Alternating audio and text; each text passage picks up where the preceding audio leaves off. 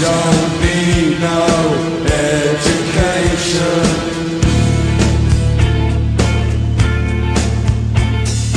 We don't need no thought control.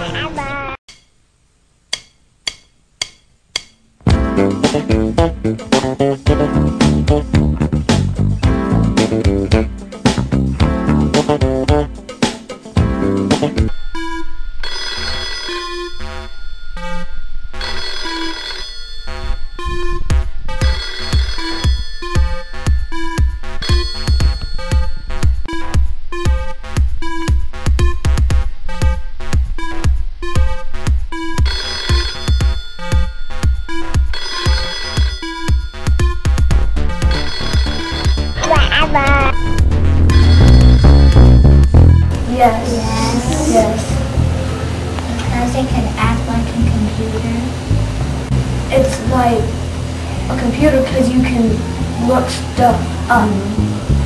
Kind of like electrical um, dictionary.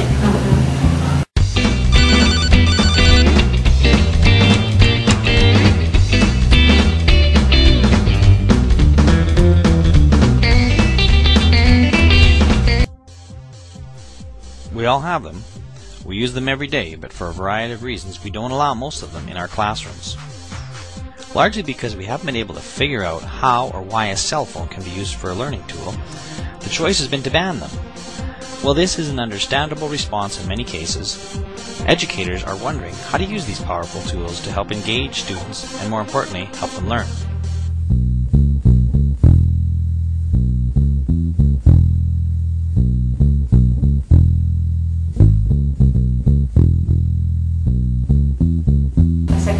Second grader doesn't need a cell It's kind of a latchkey thing, actually. Yeah.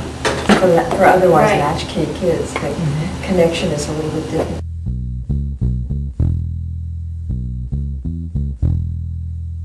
I think you could definitely use a cell phone for lear- learning, especially the ones that, you know, are web enabled, because then it's just like a computer. Having a computer. Yeah, and you can access all of the And I think you can use it as a mm-hmm. valuable tool, but I, you know, I, I don't think it's necessary that everybody have a cell phone, especially seventh graders at this, at this uh, point in their education. It might be a bit more of a distraction, which it is, I see every day, and it goes off, and it's another calling, or it's so-and-so, or Do you have cell phones right now? in Yeah, I was just wondering, you? Yeah, Oh. yeah. I've had them for several years, supposed to bring them to school, but, you know, after the uh, occurrences that have happened in the United States, um, just parents feel much better having that imme- immediate uh, response if they need to get a hold of it.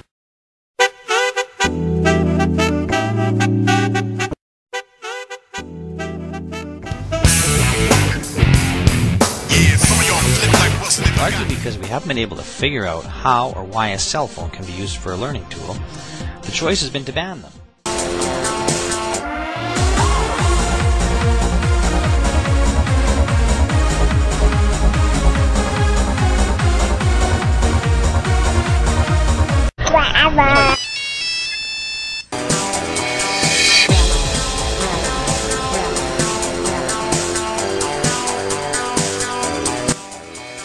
A teacher took my phone and he literally read the messages back.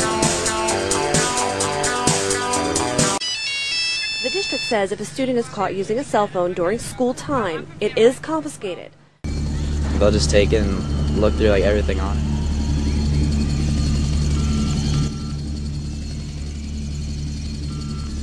Sexting or sending sexually explicit text messages.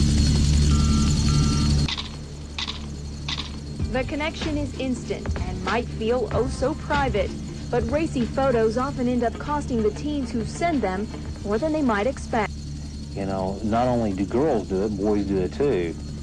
And later in life, it can come back to haunt you. However private you think some communication is, there is no way you can prevent that other person from sending that.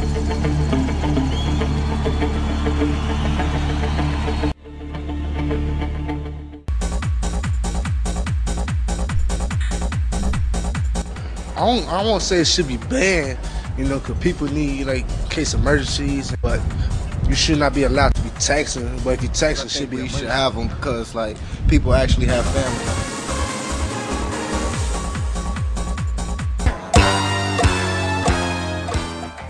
And I see it because they'll have two different languages.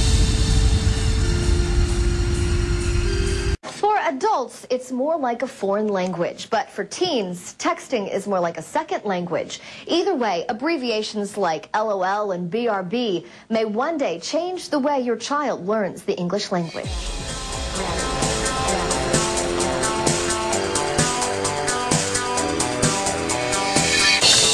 Use numbers for letters, spell words incorrectly, even make up their own abbreviated form of the English language. Just like random words that hopefully my friends can figure it out. Critics say text messaging is dumbing down the language, but some teachers say it's just another example of how fluid the English language is. I think the English language is getting compressed all the time anyway.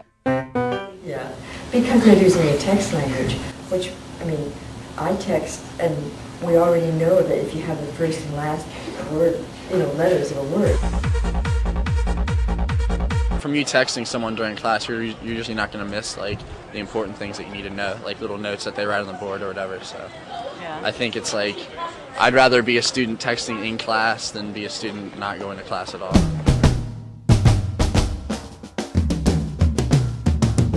It's giving them the opportunity to use a tool that they're familiar with to enhance their learning. And the learning doesn't end in the classroom. Um, you can be sitting in the middle of a paddock and just want to have a learn, so you get out your cell phone, you um, text um, a message, they send a message back to you, and you can save that on your phone and look at look at it whenever you want.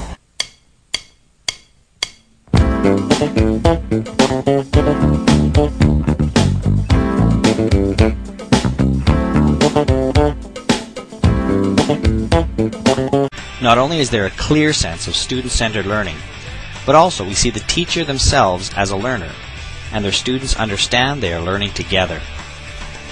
As Gord Taylor says, the novelty of the phone will quickly wear off, so the focus must not be on the tool itself but on learning. As we witness the explosion of new tools and technologies, teachers must be prepared to explore and adapt to include these opportunities for learning.